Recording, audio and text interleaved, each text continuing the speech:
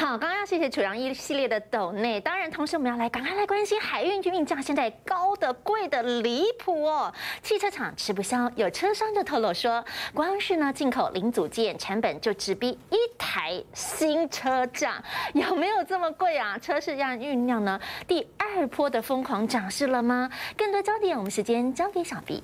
好，我们知道现在呢，几乎算是车商他们说了多少价格，只有一句话，就是我们要不要接受这样的价格？你要就下定，但下定了之后呢，不是你花了那么多钱买车，你就可以马上拿到，这个等待期啊，恐怕都要四个月以上到半年以上，都是现阶段的一个常态。所以我们来观察一下这个汽车商呢，他是怎么说的？他说啊，现在因为运价高涨，所以呢，如果我们以一台车当做是一个基准的话，我进台一口车一台车需要的零组件哦，这个运费几乎就跟一台新车的价格差不了多少了。所以啊，现在大家的这个成本都在不断的垫高，运价啦，还有相关原物料的成本，以及呢零组件也是不断的涨价。所以现在车商要喊的是吃不消了，第二度涨价风恐怕就要到来了。最快的话，可能在第二季末尾巴的时候就会来喊涨。另外一个。汽车商他是怎么说的呢？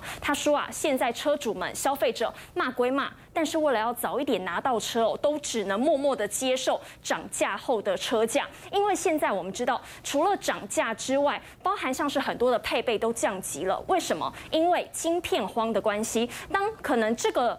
配备需要用到这个晶片，但是呢，这个晶片却迟迟不来。这个时候，我又不能因为一个晶片或是一个配备而耽误了整个车的交车或是组装嘛。所以现在车商也变聪明了，他们干脆晶片荒的部分呢，他们就把配备降级，这个可以加速他们交车的一个时间。再加上啊，最近有观察，这个折扣也缩水了，车主要花好多的时间来等候交车。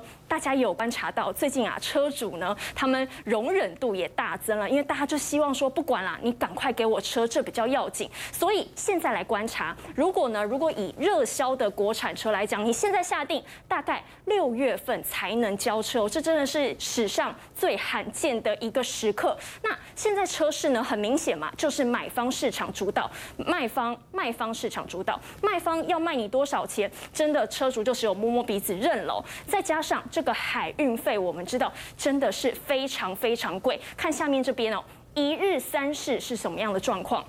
说一日三市大概还是一个比较基本的状况，也就是呢，你可能上午谈定好了，哎，我要卡这个仓位，但是中午你一个犹豫之后，下午这个仓位。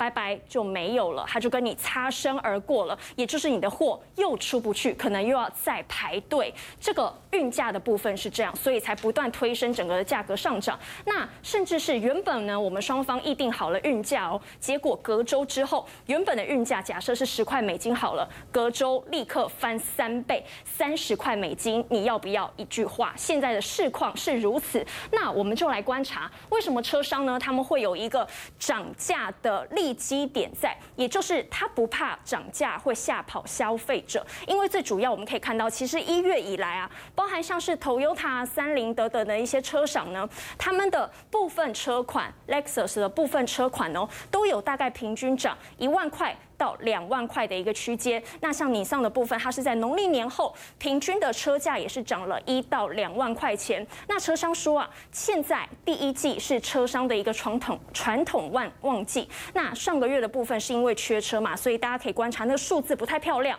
为什么？因为交不到车，所以呢挂牌数是下滑了两成。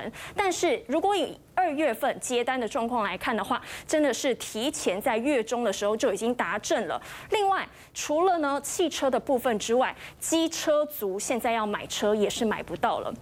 很多的大厂，包含像是光阳啊、三洋，现在他们各自哦有三万台的订单还没有办法交车。如果我们以燃油的机车来说的话，什么需要晶片？